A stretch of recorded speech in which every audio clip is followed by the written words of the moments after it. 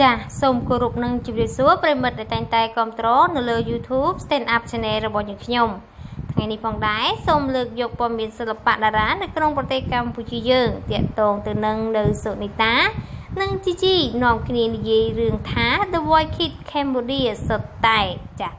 ចង់នឹងថាអ្នកទាំងពីរថា The Voice Kids Cambodia យ៉ាងណានោះសូមតាមដានព័ត៌មានលម្អិតបន្ថែមជាមួយនឹងខ្ញុំភ្នំពេញកាលពីពេល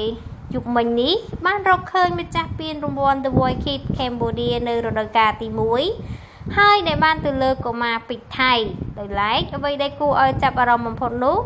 ក្រោយប្រកាសលទ្ធផលហើយយើងឃើញថាមានមហាជនជាច្រើនបានបញ្ចេញមតិប្រតិកម្ម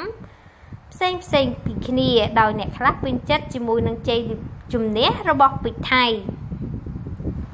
រីឯអ្នកខ្លះទៀតបែរជាសម្ដែងការមិនពេញចិត្តខ្លាំងចំពោះលទ្ធផលមួយនេះទៅវិញដោយពួកគេចាសសន្ទុះដោយពួកគាត់យល់ថាសម្លេងរបស់ពេជ្រថៃមានភាពអន់ខ្សោយជាងបេក្ខជនដទៃច្រើនណាស់ដូចជាកុមារីរ៉នចាន់ឌិននិងកុមារាឡុងលីកង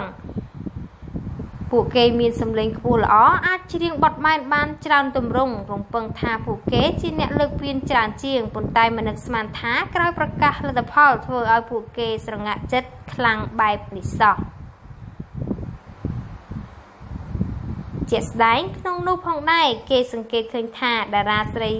ពីររូបដែលនិយមចូលចិត្តតាមដានកម្មវិធីប្រឡងចម្រៀង កុមារ The Voice Kids នេះក៏ពួកគេបានបង្ហោះសារបង្ហាញពីការហួសចិត្តចំពោះលទ្ធផលសម្រាប់បែបនេះខ្លាំងមែនតែនដោយក្នុងនោះតារាសម្ដែងនិងជាតារា model ដែលកញ្ញានៅសុចិត្តតាបានសរសេរថា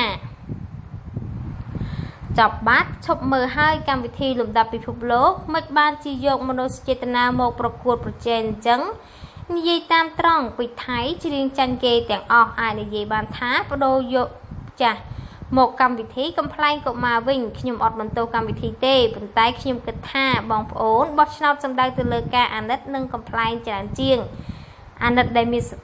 អាណិតអ្នកដែលមានសមត្ថភាពពិតប្រាកដបាយបិទរនច័ន្ទឌិន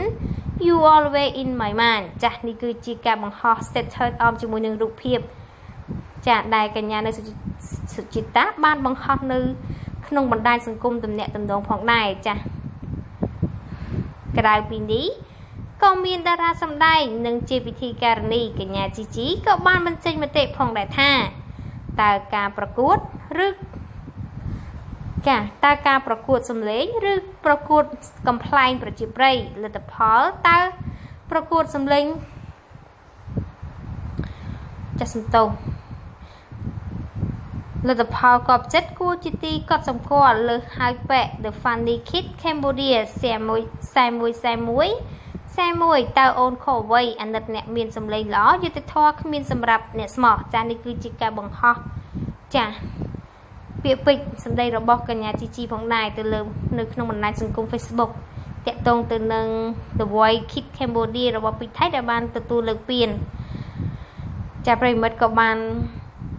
ដឹងរួចទៅហើយដែរចាតកតងទៅនឹងការពីយុគមិញដែលពីថៃបានលើកពីន The Voice Kids Cambodia ដែលធ្វើឲ្យចាស់ប្រិមិត្តមួយចំនួនគ្រប់ត្រនិងប្រិមិត្តមួយចំនួនទៀតចាស់មិនគ្រប់ត្រដោយសារតែគិតថាពីថៃគឺនៅមានសម្លេងចាស់ចាញ់ដៃគូប្រកួតប្រជែងផ្សេងទៀតចាឥឡូវសម្រាប់ព័ត៌មាននេះគឺយើងខ្ញុំគ្រាន់តែលើកយកមកបង្ហាញប៉ុណ្ណោះសម្រាប់ យល់ឃើញយ៉ាងណានោះគឺអាស្រ័យទៅលើប្រិមិត្តតែប៉ុណ្ណោះចាស់ហើយលើព័ត៌មានសិល្បៈតារានៅថ្ងៃនេះក៏បានបញ្ចប់ទៅហើយដែរអរគុណប្រិមិត្តដែលតែងតែចំណាយពេលវេលាដ៏មានតម្លៃតាមដាននៅលើ YouTube Stand Up Channel របស់យើងខ្ញុំប្រសិនបើលោកអ្នកចង់ទទួលបានព័ត៌មានថ្មីថ្មីក្តៅក្តៅផ្លេចផ្លែកហើយតើហេតុការនោះសូមជួយ Subscribe លើ YouTube Stand Up Channel របស់យើងខ្ញុំផងប្រសិនបើមានពាក្យពេចន៍សម្ដីទាំងណាមសំរុំនោះក៏សូមខន្តីអភ័យទោសទុកជាមុនផងដែរចា៎សូមអរគុណក៏សូមជម្រាបលា